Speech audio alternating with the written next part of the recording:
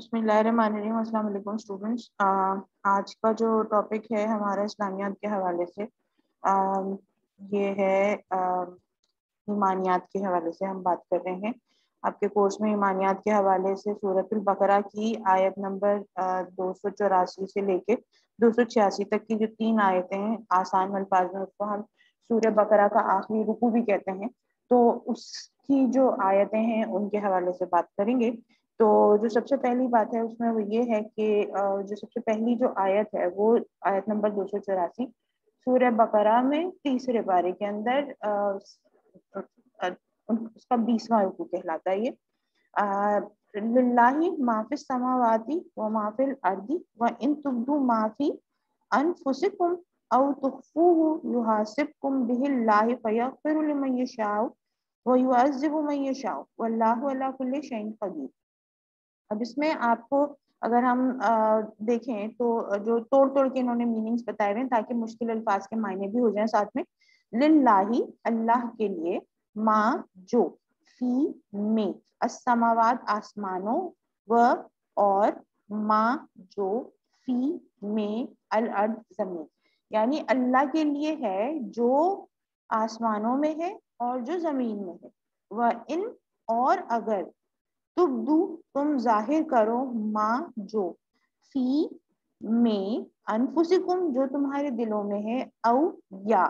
तो फूहू तुम इसे छुपाओ, यो हासिब कुम वो तुमसे हिसाब लेगा। बिही इसका अल्लाह अल्लाह फयफिर फिर बख्श देगा, लेमन यशाऊ लेमन जिसको यशाऊ जिसको वो चाहेगा। वह और यु अजिब वो अजाब देगा मन जिसको यशाऊ वो चाहेगा। वह और अल्लाह अल्लाह अल्लाह पर कुल्ली हर शैन चीज़ कदीर कुदरत रखता है। तो यहाँ पे जो इम्पोर्टेंट चीज़ है वो ये है कि आपको ये तमाम अल्फाज जो मेन अल्फाज हैं वो आ, उनकी आ, मतलब पता होने चाहिए। यानी अल्लाह का जो वर्ड है वो बहुत ही डिफरेंट तरीके से बहुत हम इस्तेमाल कर सकते हैं। और अल्लाह की नाम की जो एक बरकत है, जो कि मैं आपको बताना भी चाहूँगी, उसके लिए एक मैं पहले आपके साथ स्क्रीन शेयर करती हूँ, उसके बाद फिर मैं आपको बताती हूँ।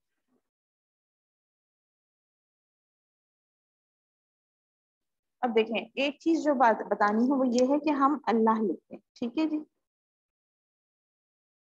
अब इसके अंदर अगर हम इसको तोड़ें तो अलिफ है, फिर लाम है, फिर लाम है और उसके बाद, हा, ठीक है जी। अब ये तीन, चार चार जो हरूफ है, उनके साथ मिलके बना है। अल्लाह के हवाले से हम जब बात करते हैं, वो ये है कि ये अल्लाह ताला का सिफाती नाम जाती नाम है। सिफाती नाम नहीं है, जैसे कदीर कह लें। कदीर, रहमान, रहीम, ठीक है? ये वो अल्फाज हैं जो कि लोगों के दरमियान में रखे जा सकते हैं। अल्लाह ताला की सिफत है। कदीर का मतलब? कुदरत वाला। रहमान का मतलब? रहमत करने वाला। रहीम का मतलब भी? रहमत करने वाला। लेकिन यहाँ पे जो इम्पोर्टेंट चीज़ है, वो ये है कि रहमान तमाम मखलूक पर रहमत करने वाला और रहीम का मतलब है रहीम का मतलब है मोमिन पर रहमत करने वाला। ठीक है जी तो रहमान हो गया, रहीम हो गया। आपने देखा होगा, रहमान हो गया, नहीम हो गया, कदीर हो गया। ये तमाम वर्ड्स जो हैं, वो ह्यूमन बींग्स भी इस्तेमाल कर लेते हैं, उनके नाम भी रखे जा सकते हैं। अब लगा लेते हैं या उसके बगैर ही इस्तेमाल किया जा सकता है तो ये नाम इस्तेमाल किए जा सकते हैं। क्यों? इसलिए कि ये अल्लाह ताला के जाती नाम नहीं है, ये अल्लाह ताला के सिफाती नाम है, जिसमें अल्लाह ताला की कोई ना कोई सिफत बयान होती है। उसके मुकाबले में जब हम बात करते हैं अल्लाह की तो ये अल्लाह का जाती नाम है। अल्लाह किसी और को कहा ही नहीं जा सकता। अल्लाह के अलावा और कोई ये नाम जो है वो अक्वायर करने का हकदार ही नहीं। पहली चीज़ हो गई। दूसरी चीज़ जो बहुत इंपॉर्टेंट है, उसमें ये है जो मैंने एक जगह तफसीर में पढ़ा था कि अल्लाह ताला के नाम में से अगर आप कोई सा भी हर्फ हटा देते हैं, अलिफ एक हर्फ है, लाम दूसरा हर्फ है, दूसरा लाम दूसरा हर्फ है और हा तीसरा लफ्ज चौथा लफ्ज हर्फ है। अब ये तमाम हर्फ अगर आप हटाते जाएँ तो भी अल्लाह ही का नाम बनेगा। से फॉर एग्ज़ाम्पल अभी हमने लिखा अल्लाह, ठीक है? अब अलिफ हटा दें तो क्या हो जाएगा? लिल्लाह। अभी हम पढ़ के बैठे हैं, लिल्लाह का मतलब है अल्लाह।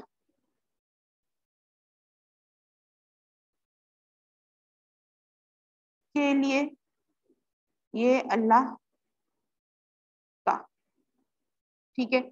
दूसरा लाम भी हटा दें तो अब आपके पास रह जाएगा लहू। लहू अल्लाह के लिए इस्तेमाल होता है। लहुल असमाउल हुस्ना, यानी अल्लाह के अच्छे नाम। ठीक है? तो लहू जो है, वो भी अल्लाह के लिए। उसके बाद अगर आप ये दूसरी लाम भी हटा देते हैं और हा रह जाता है तो हा जो है वो हु के लिए इस्तेमाल होता है। और हु का जो वर्ड है, वो हमेशा याद रखिएगा, आपने बहुत दफ़ा सुना होगा कि बहुत सारे जितने भी हमारे ज़िक्र होते हैं, अल्लाह ताला के जहर होते हैं, ज़िक्र जहर होते हैं, उसमें हु का वर्ड इस्तेमाल होता है। सुल्तान बाहू के आपने जो बहुत सारे कलाम सुने होंगे, उनके अंदर जो है वो हु का वर्ड इस्तेमाल होता है। इसका मतलब क्या हुआ कि ये भी अल्लाह ही को मुखातिब किया जा रहा है, अल्लाह ही के हवाले से बात हो रही है। तो हु का वर्ड इस्तेमाल होगा तो भी वो अल्लाह के लिए है। लहू का इस्तेमाल होगा तो भी हम अल्लाह ही की बात कर रहे हैं। लिल्लाह का वर्ड इस्तेमाल होगा, वो भी अल्लाह के लिए ही, अल्लाह का ही नाम है। और अल्लाह अगर अलिफ भी लगा देते हैं तो वो भी अल्लाह का नाम है। इसका मतलब क्या हुआ कि अगर हम दोबारा से पुरानी वाली स्क्रीन की तरफ़ जाते हैं तो ये बहुत इंपॉर्टेंट चीज़ है याद रखने वाली।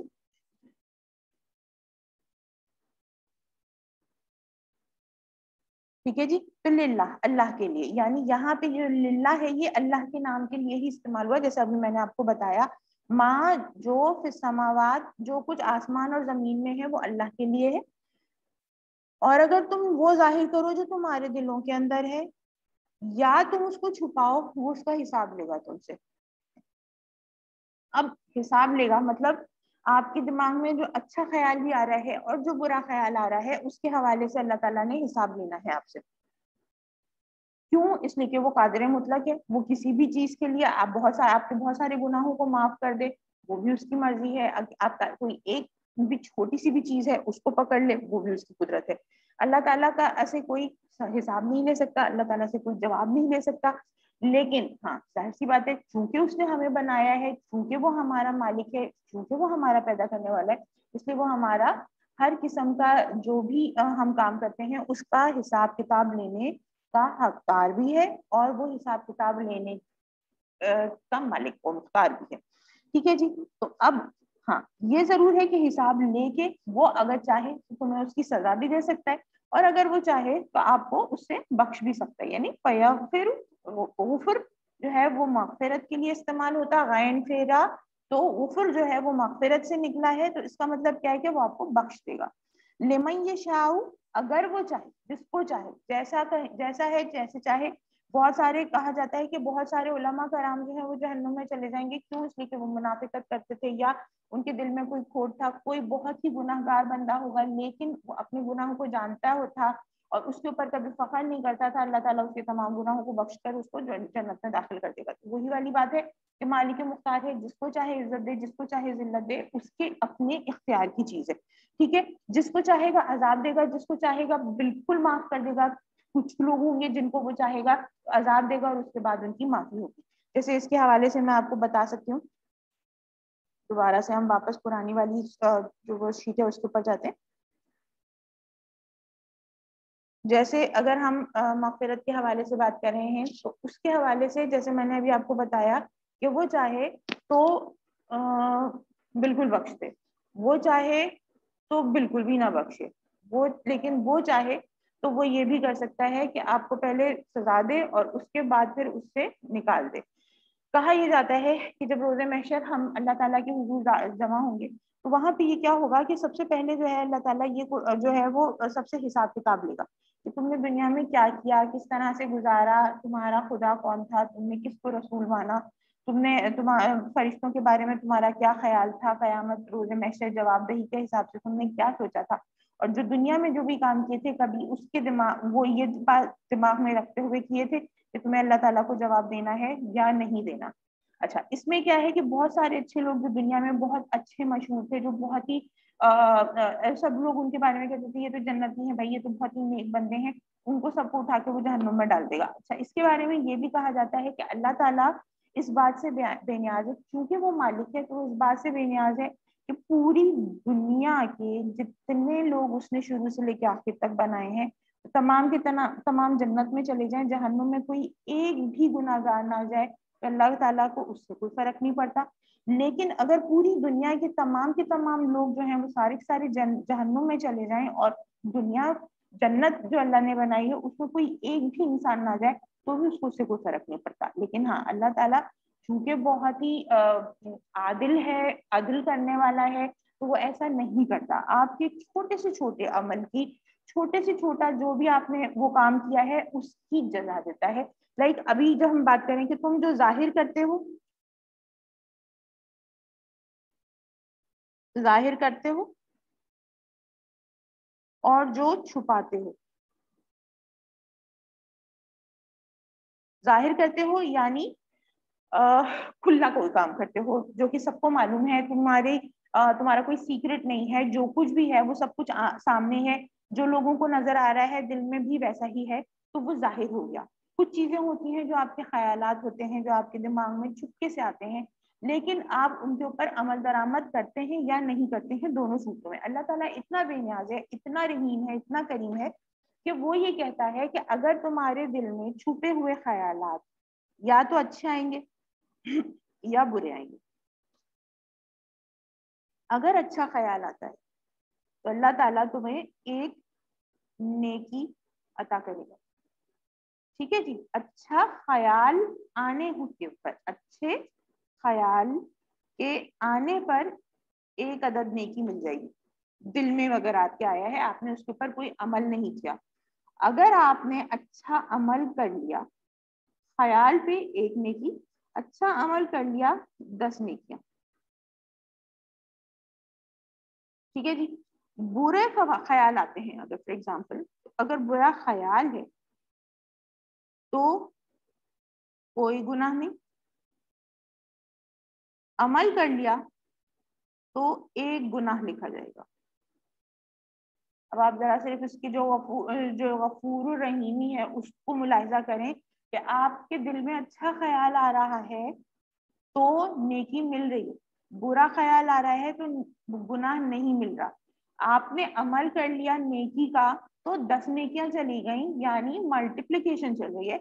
और गुनाह अगर आपने एक किया है तो आपको एक ही गुनाह काउंट होगा। तो ये अल्लाह ताला का करम है, और वो उसी के हवाले से जब हम बात करते हैं तो यहाँ पे ये बात आ जाती है। एक मिनट ठहरे, मैं आपके साथ दोबारा से पुराना वाला स्क्रीन शेयर करूँ?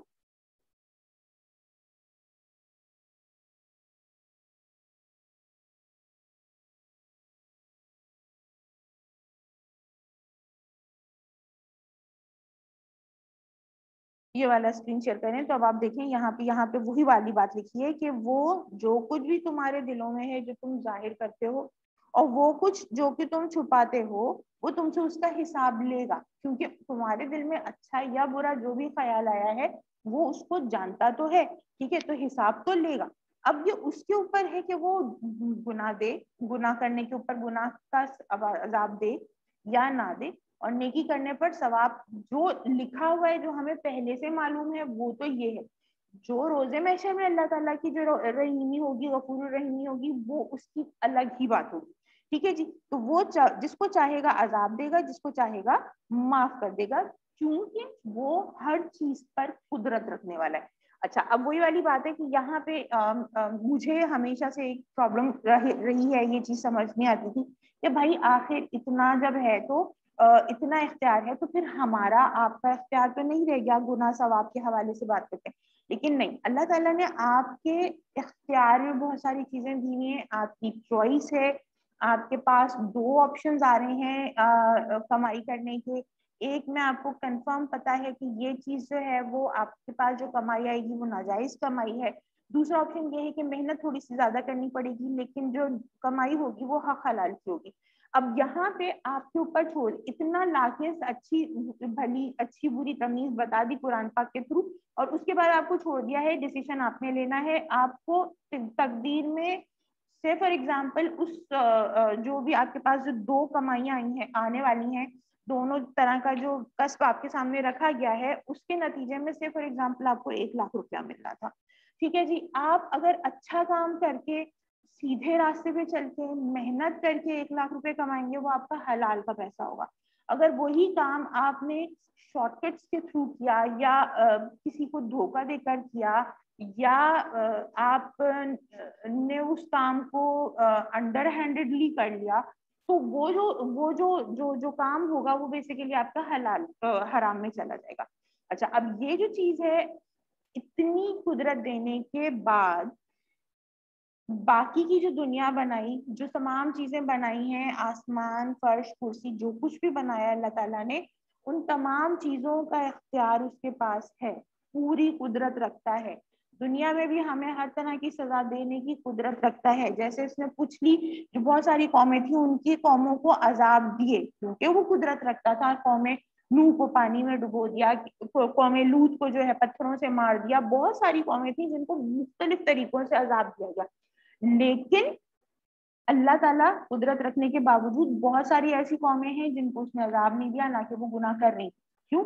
अल्लाह ताला की मर्ज़ी। जिसको उन्होंने चाहा जिसको उन, उनके नबियों ने कहा जिनके लिए दुआएँ की गई वहाँ पे अजाब आया वरना नहीं आया। हजूर ने दुआ की मेरी उम्मत पे अजाब ना आए।